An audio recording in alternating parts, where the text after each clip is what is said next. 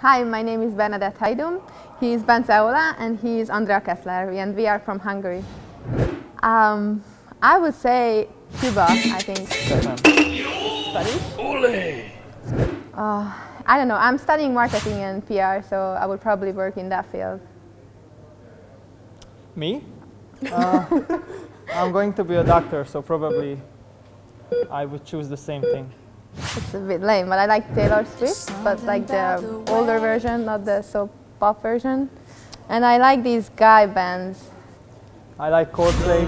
She likes, She likes Eminem. Justin Bieber Justin. Bieber, yeah. Miért én szeretem? She's listening to folk music in Hungary. yeah, she wants to show it. I really cannot, I don't want to torture anyone. I really cannot sing. Tea and uh, one minute ride.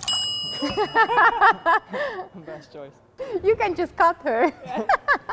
we all had to study Hungarian folk dance, but none of us remember.